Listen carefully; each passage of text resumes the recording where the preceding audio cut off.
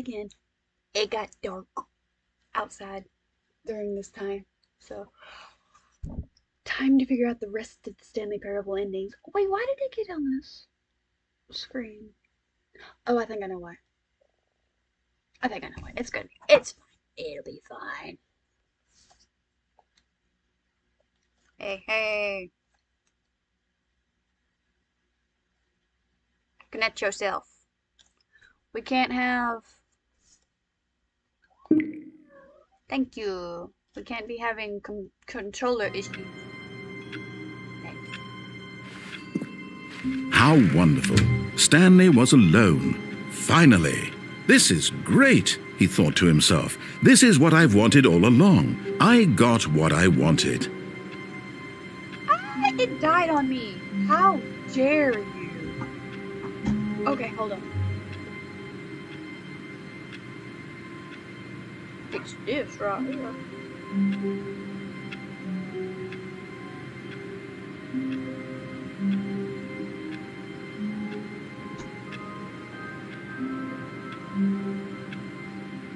Yes, mom is with her kittens and they're gonna be meowing. If you hear it.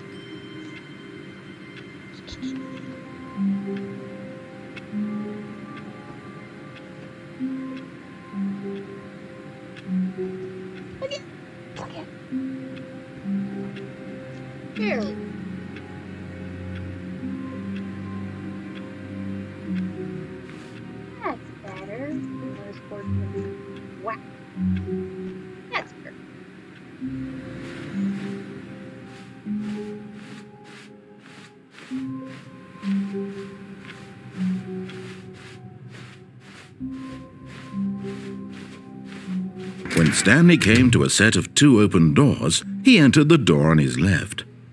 You know, let's do everything on the left side first.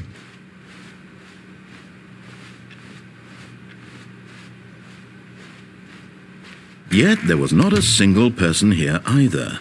Feeling a wave of disbelief, Stanley decided to go up to his boss's office, hoping he might find an answer there. oh, he made sure I couldn't go back in. Coming to a staircase, Stanley walked upstairs to his boss's office.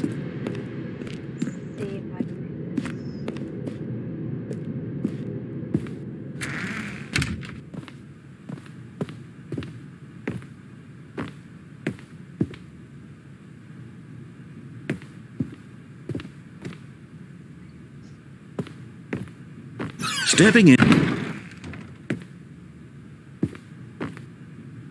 I did do it. Okay.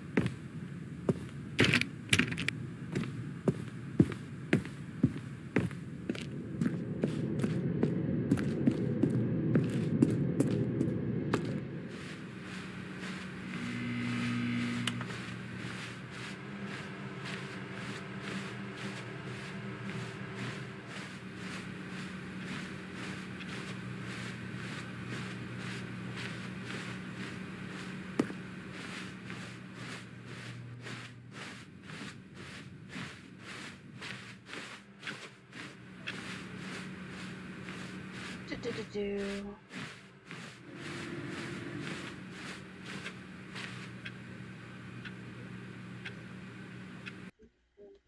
That's scary. You are now leaving.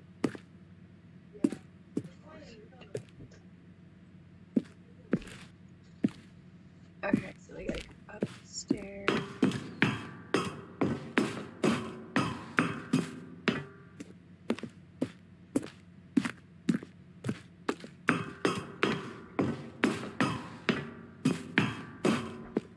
I know it's only a couple flights, but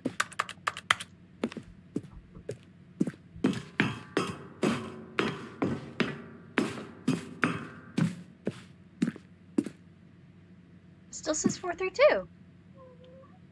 Shh, Riley.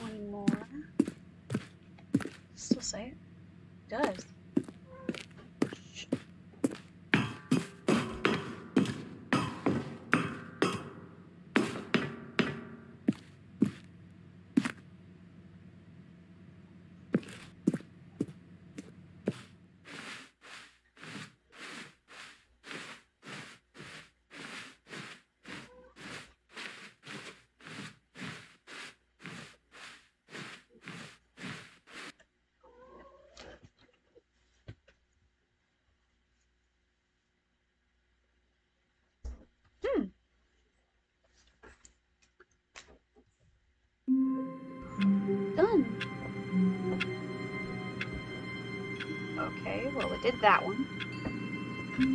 So. there are a couple more. All of his co-workers were gone. What could it mean? Stanley decided to go to the meeting room. Perhaps he had simply missed a memo.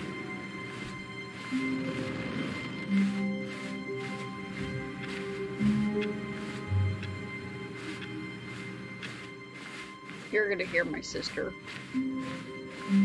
And my grandma. When Stanley came to a set of two open doors, he entered the door on his left. Excuse me? Yet there was not a single person here either. Feeling a wave of disbelief, Stanley decided to go up to his boss's office, hoping he might find an answer there. Coming to a staircase, Stanley walked upstairs to his boss's office. Go ahead and get that over with. so I don't go up to the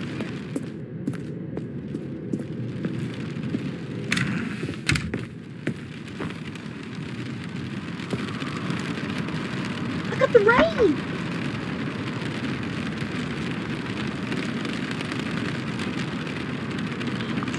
I like this kind of The moment he entered his manager's office, Stanley froze in his tracks. Not a living soul anywhere. Could he really be all alone? This was too much for Stanley to take, too much for any man to take. He fell to his knees, bursting into half moans, half sobs, the guttural retching of life from a man denied any hope, any reason to keep going. Here on the floor he lay prone, paralyzed by fear for nearly a full hour. But when at last he began to move about and survey the situation, he found a keypad behind the boss's desk. What could it mean? Was it a sign of hope for Stanley's future? Alas, it was not. For although this keypad guarded the terrible secret of Stanley's past, it had been assigned a four digit code so devious and so random that no man could ever hope to guess it. 2845. Statistically, nearly impossible to guess blindly ever.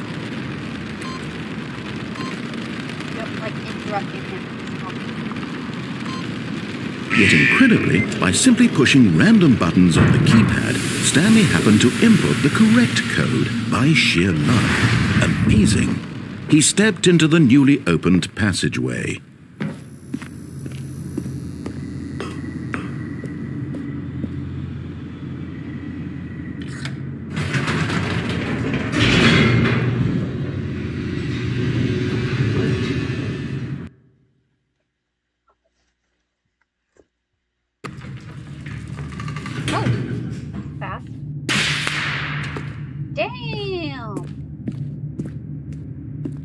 Stanley walked straight ahead through the large door that read Mind Control Facility.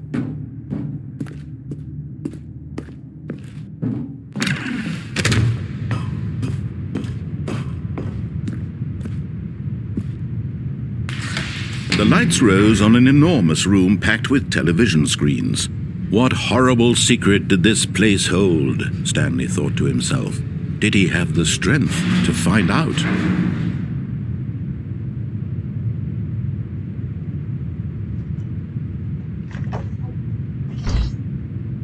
I just don't like that give to me.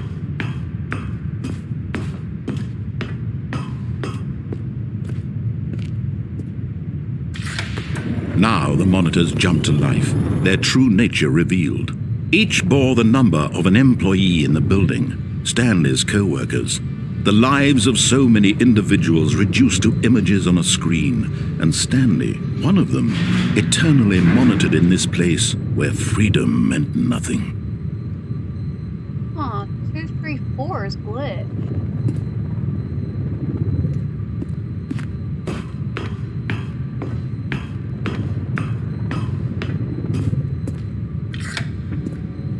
This mind control facility, it was too horrible to believe. It couldn't be true. Had Stanley really been under someone's control all this time? Was this the only reason he was happy with his boring job? That his emotions had been manipulated to accept it blindly?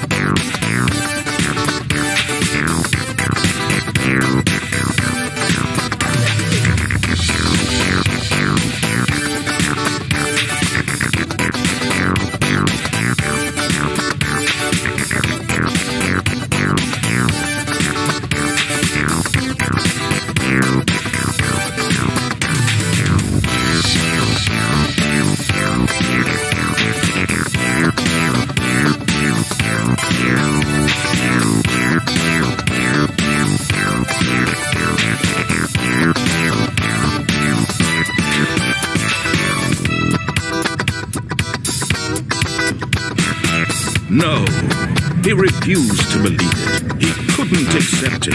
His own life in someone else's control? Never. It was unthinkable. Wasn't it? Was it even possible? Had he truly spent his entire life utterly blind to the world? I mean, probably. But here was the proof. The heart of the operation. Controls labeled with emotions. Happy, or sad, or content. Walking, eating, working. All of it monitored and commanded from this very place. And as the cold reality of his past began to sink in, Stanley decided that this machinery would never again exert its terrible power over another human life. For he Riley? would dismantle the controls once and for all.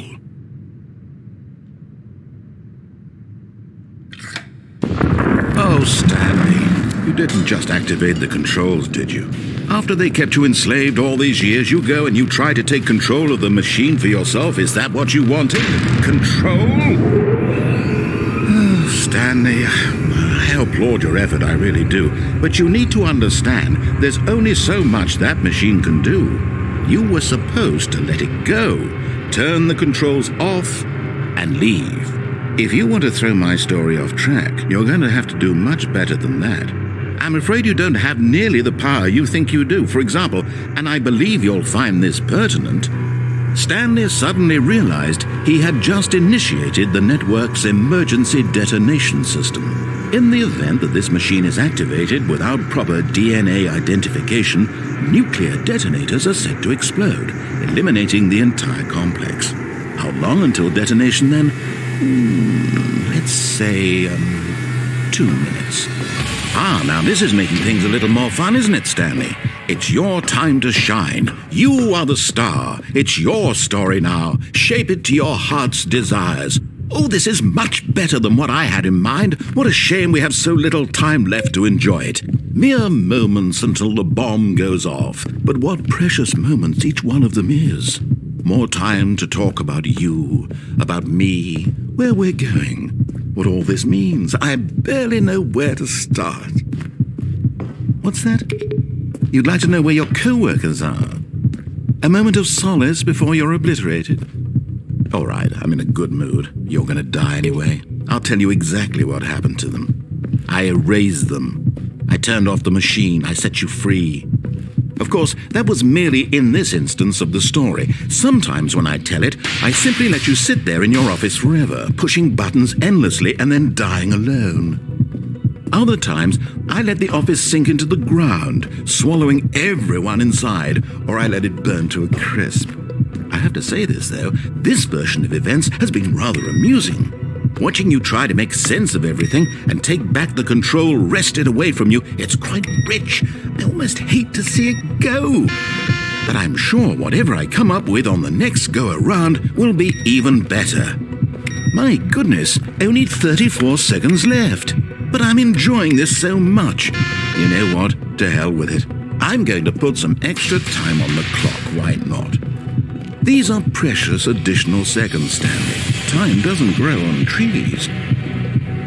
Oh dear me, what's the matter, Stanley? Is it that you have no idea where you're going or what you're supposed to be doing right now? Or did you just assume when you saw that timer that something in this room was capable of turning it off?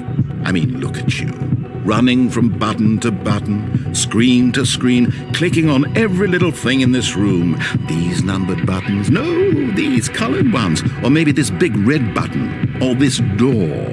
Everything, anything, something here will save me. Why would you think that, Stanley? That this video game can be beaten? Won? Solved? Do you have any idea what your purpose in this place is?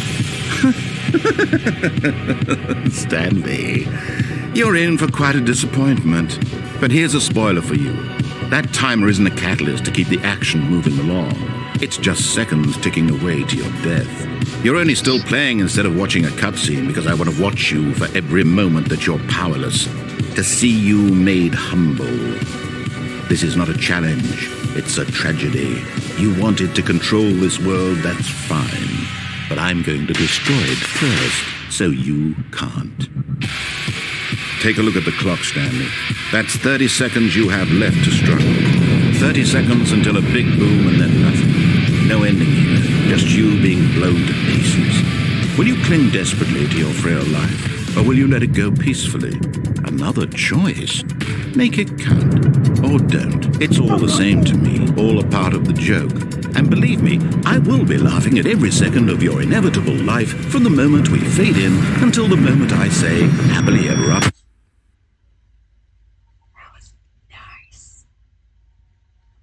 That was awesome.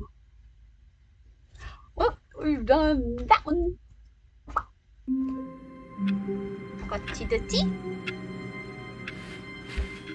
Even now, Stanley's office was a distant memory.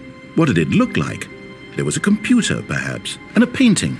Was it a painting or a photo? He could no longer recall.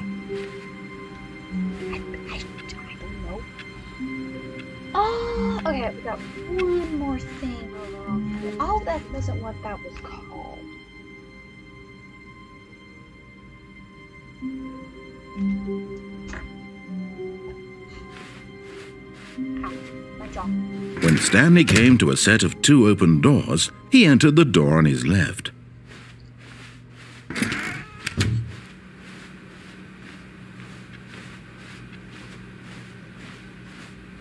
Yet there was not a single person here either.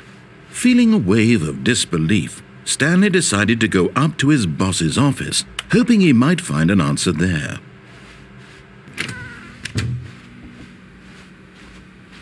Coming to a staircase, Stanley walked upstairs to his boss's office. I've Almost got everything from this part of the game done. Stepping into his manager's office, Stanley was once again stunned to discover not an indication of any human life. What could it mean, he wondered. Desperate for answers, he began turning the room over looking for clues that might unravel the situation, until at last he discovered a keypad behind the boss's desk. But alas, no code. For this keypad guarded the terrible secret that lay buried below his feet and so the boss had assigned it an extra secret PIN number 2845. But of course, Stanley couldn't possibly have known this.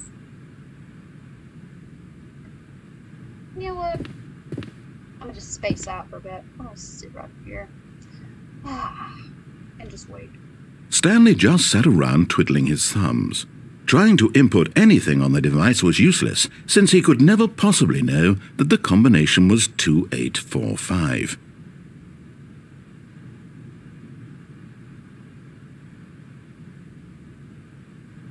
Two eight four five.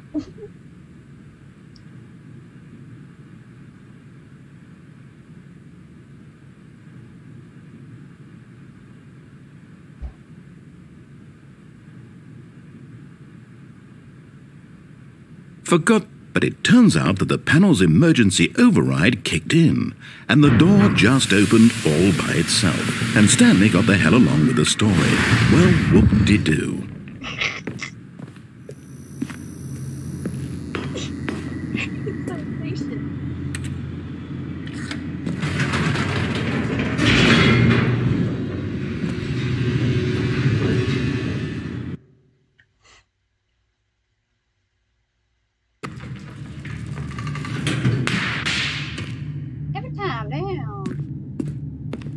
All sparky sparky on me. Stanley walked straight ahead through the large door that read Mind Control Facility. Although this passageway had the word escape written on it, the truth was that at the end of this hall, Stanley would meet his violent death. Okay. Here, there you go. Lay down. Curl up. Good girl. Thank you. We're trying to play the game. The door behind him was not shut, Stanley still had every opportunity to turn around and get back on track.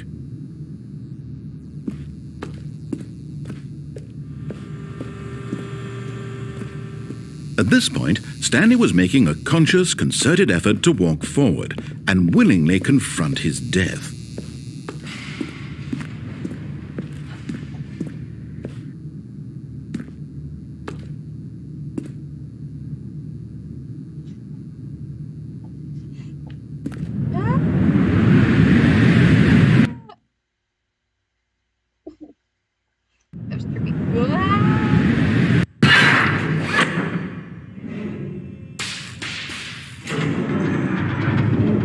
As the machine whirred into motion and Stanley was inched closer and closer to his demise, he reflected that his life had been of no consequence whatsoever. Stanley can't see the bigger picture. He doesn't know the real story, trapped forever in his narrow vision of what this world is. Perhaps his death was of no great loss, like plucking the eyeballs from a blind man. And so he resigned and willingly accepted this violent end to his brief and shallow life. Farewell, Stanley.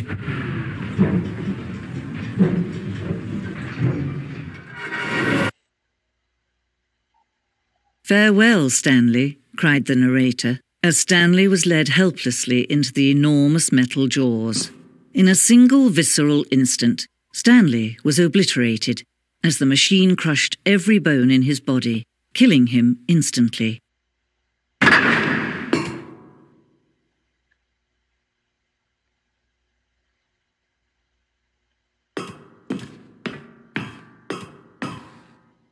Yet it would be just a few minutes before Stanley would restart the game, back in his office, as alive as ever. What exactly did the narrator think he was going to accomplish?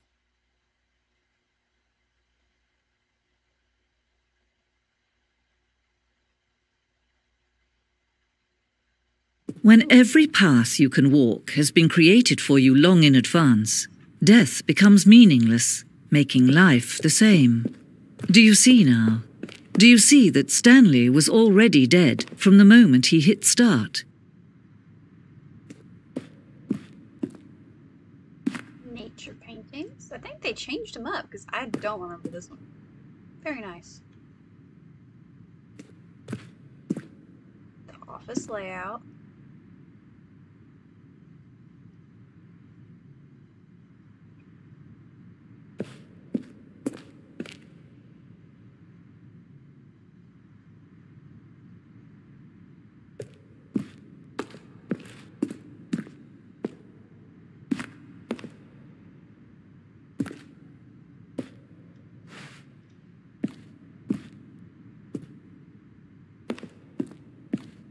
I'm not gonna press everything, but I am gonna look.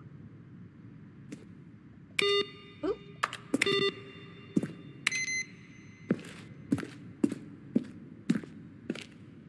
Credits written and designed by Davey Wreden and William Pug, or Pugh, Pugh, Pugh, I don't. Developed by Crows, Crows, Crows. Art direction Dominik jo- Johann. Audio direction Tom Schley. And the impeccable Kevan Brighting as the narrator. Yiannis Ioannides? I think that's how you say her name. I'm not sure. Or their name. I'm not sure. I really don't. I'm sorry.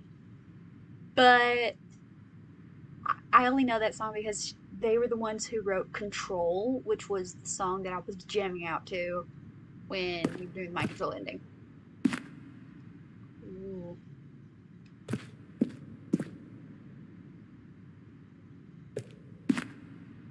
Based on the work of the Stanley Parable 2013 team.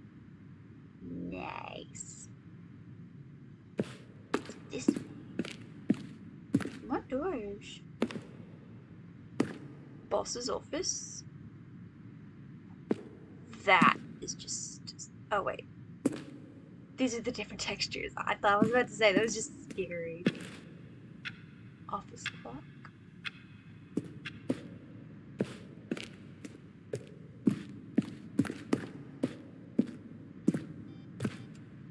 The lounge. Underground. An early version of the underground portion of the game. Okay.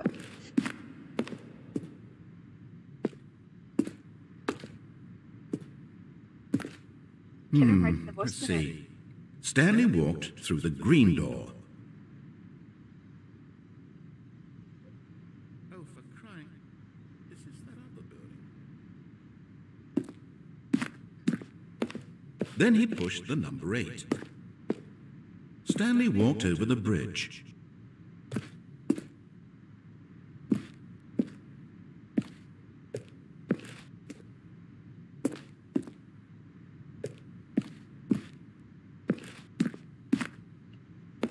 Now then, this elevator for sure would get him right back on track to where he was supposed to be in the story. Stanley jumped in the river. He pushed the number six. Still nothing? Hmm, I don't know. Well, in that case, I'll tell you what, you win. Congratulations. You did it. I know you put in a lot of hard work and it really paid off, so good job. Hmm. What do we do now? I don't. Stanley, where are you right now? Where, where am I? I'm. I'm trying to figure out, but I, I can't. Stanley, who am I? Can you speak to me? Please talk.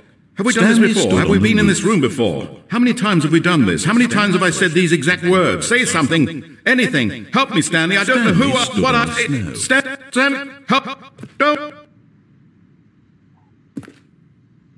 Then he pushed the number four. Where were all of his co-workers? Then he pushed Oh, I don't know. How about they're throwing a surprise party for him for all his button pushing? Does that sound plausible to you? Stanley jumped in the river. Finally, he pushed the number nine.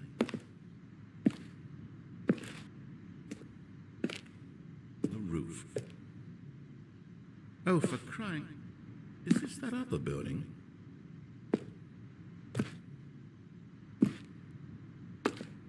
Stanley jumped in the river.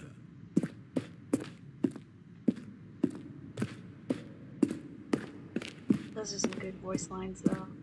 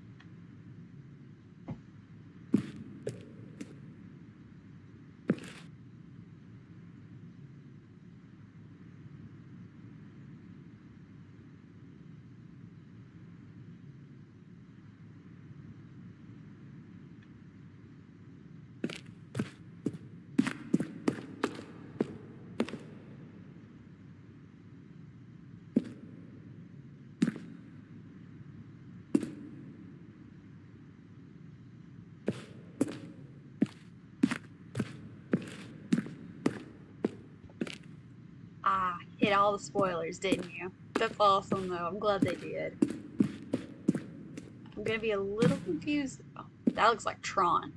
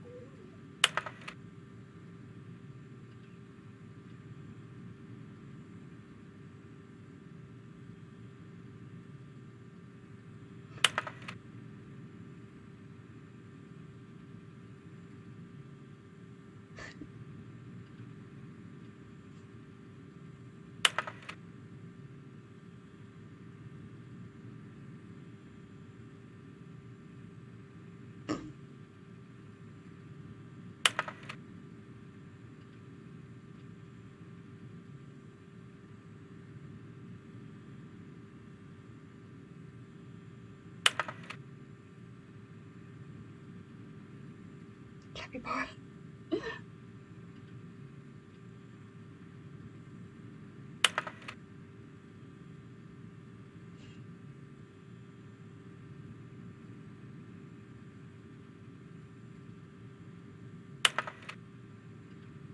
Are you gay?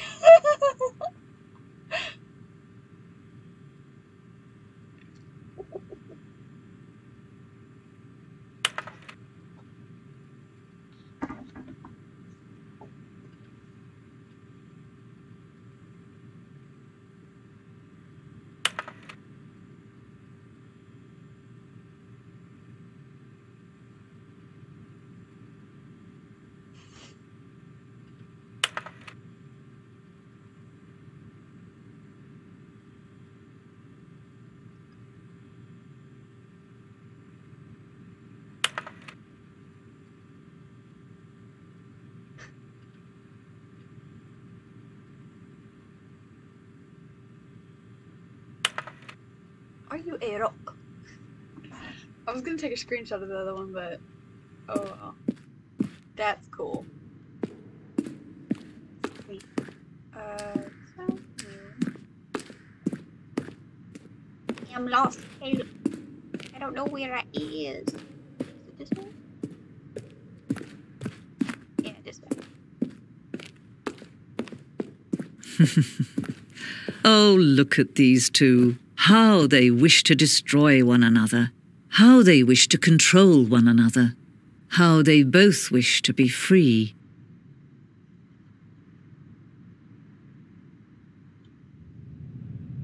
Can you see? Can you see how much they need one another? No, perhaps not. Sometimes these things cannot be seen. But listen to me. You can still save these two. You can stop the program before they both fail. Push escape and press quit. There's no other way to beat this game. As long as you move forward, you'll be walking someone else's path. Stop now and it'll be your only true choice.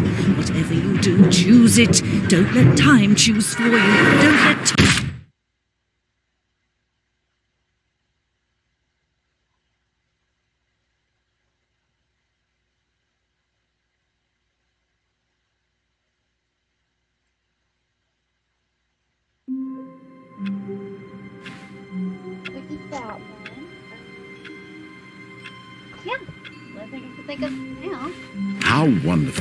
Stanley was alone.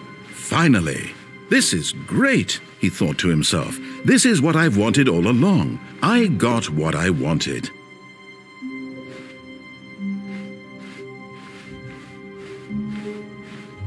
When Stanley came to a set of two open doors, he entered the door on his left.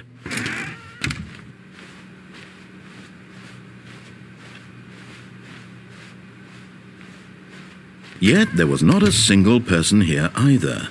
Feeling a wave of disbelief, Stanley decided to go up to his boss's office, hoping he might find an answer there. Coming to a staircase, Stanley walked upstairs to his boss's office. Now we go into the scary basement.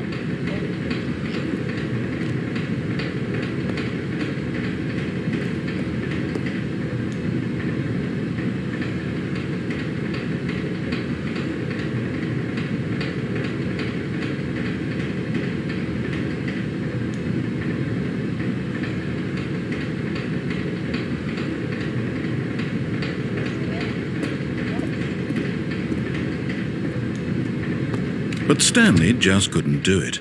He considered the possibility of facing his boss. Admitting he had left his post during work hours, he might be fired for that. And in such a competitive economy, why had he taken that risk? All because he believed everyone had vanished? His boss would think he was crazy. And then something occurred to Stanley. Maybe, he thought to himself, maybe I am crazy. All of my co-workers blinking mysteriously out of existence in a single moment for no reason at all? None of it made any logical sense. And as Stanley pondered this, he began to make other strange observations. For example, why couldn't he see his feet when he looked down? Why did doors close automatically behind him wherever he went? And for that matter, these rooms were starting to look pretty familiar. Were they simply repeating? No, Stanley said to himself, this is all too strange. This can't be real. And at last, he came to the conclusion that had been on the tip of his tongue. He just hadn't found the words for it. I'm dreaming! he yelled. This is all a dream. Oh, what a relief Stanley felt to have finally found an answer, an explanation. His co workers weren't actually gone. He wasn't going to lose his job. He wasn't crazy after all. And he thought to himself, I suppose I'll wake up soon. I'll have to go back to my boring real life job pushing buttons. I may as well enjoy this while I'm still lucid. So, he imagined himself flying and began to gently float above the ground. Then he imagined himself soaring through space on a magical starfield, and it too appeared. It was so much fun, and Stanley marveled that he had still not woken up. How was he remaining so lucid? And then perhaps the strangest question of them all entered Stanley's head. One he was amazed he hadn't asked himself sooner. Why is there a voice in my head dictating everything that I'm doing and thinking? Now the voice was describing itself being considered by Stanley, who found it particularly strange. I'm dreaming about a voice describing me, thinking about how it's describing my thoughts, he thought. And while he thought it all very odd and wondered if this voice spoke to all people in their dreams, the truth was that, of course, this was not a dream. How could it be? Was Stanley simply deceiving himself, believing that if he's asleep, he doesn't have to take responsibility for himself? Stanley is as awake right now as he's ever been in his life. Now, hearing the voice speak these words was quite a shock to Stanley. After all, he knew for certain, beyond a doubt, that this was in fact a dream. Did the voice not see him float and make the magical stars just a moment ago? How else would the voice explain all that? This voice was a part of himself too. Surely, surely, if he could just. He would prove it. He would prove that he was in control that this was a dream. So he closed his eyes gently, and he invited himself to wake up. He felt the cool weight of the blanket on his skin, the press of the mattress on his back, the fresh air of a world outside this one. Let me wake up, he thought to himself. I'm through with this dream. I wish it to be over. Let me go back to my job. Let me continue pushing the buttons. Please, it's all I want. I want my apartment, and my wife, and my job. All I want is my life exactly the way it's always been. My life is normal. I am normal. Everything will be fine. I am okay.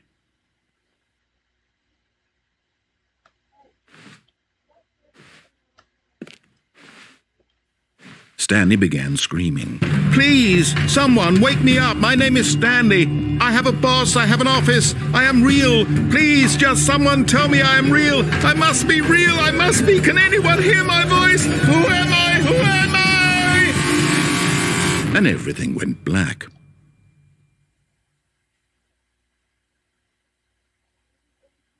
This is the story of a woman named Mariella. Mariella woke up on a day like any other. She arose, got dressed, gathered her belongings, and walked to her place of work. But on this particular day, her walk was interrupted by the body of a man who had stumbled through town talking and screaming to himself, and then collapsed dead on the sidewalk. And although she would soon turn to go call for an ambulance, for just a few brief moments she considered the strange man. He was obviously crazy, this much she knew. Everyone knows what crazy people look like. And in that moment, she thought to herself how lucky she was to be normal. I am sane. I am in control of my mind. I know what is real and what isn't. It was comforting to think this, and in a certain way, seeing this man made her feel better. But then she remembered the meeting she had scheduled for that day the very important people whose impressions of her would affect her career, and by extension, the rest of her life. She had no time for this, so it was only a moment that she stood there, staring down at the body. And then she turned and ran.